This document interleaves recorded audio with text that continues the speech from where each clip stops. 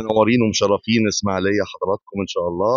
آه، حضرتك الأبطال محمد سلامة رئيس منطقة القناة للتأليف والمسؤول عن تنظيم بطولة كأس مصر بالإسماعيلية.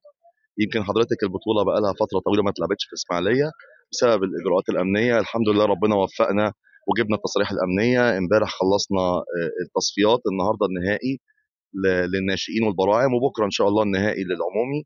آه، الفرق المشاركة حوالي 14 فريق مشاركين. بإجمالي عدد 500 لاعب ولاعبه والحمد لله التنظيم زي الفل والدنيا ماشية جميلة وزي زي الفل الحمد لله. اتكلمنا عن آه، رياضة التجديف آه، والبطولة بشكل عام آه، يعني يعني إجراءاتها اللي بيتأهل تأهيلات النص نهائي والنهائي آه، والختام يعني كلمنا عن المراحل آه، رياضة التأديف رياضة عايزة آه، لعيب عنيد مع نفسه وعايزة لعيب قوي جدا لأن السبق آه، مسافته 2000 متر.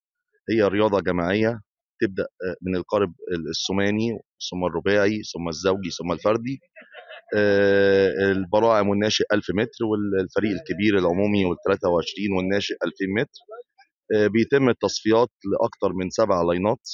يعني لو عدد الفرق المشاركة أكتر من سبعة لأن إحنا عاملين عاملين في إسماعيلية الم- المجرى كبير فعاملين سبع لاينات. يمكن لو لو في القاهرة بيبقى أقل من كده شوية. فلو هم أكتر من سبع أندية بيتم عمل تصفيات قبلها بيوم لاختيار أفضل سبع أندية ينزلوا المشاركة آه، في النهائي.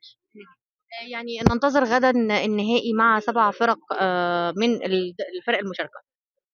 تمام هو النهارده النهائي بالفعل النهارده النهائي لل- للثلاث للبراعم والناشئين. خلاص التصفية كانت امبارح والنهارده النهائي للبراعم والناشئين. وبكرة إن شاء الله هتبقى النهائي برضو للفريق ال 23 والعمومي والسيدات.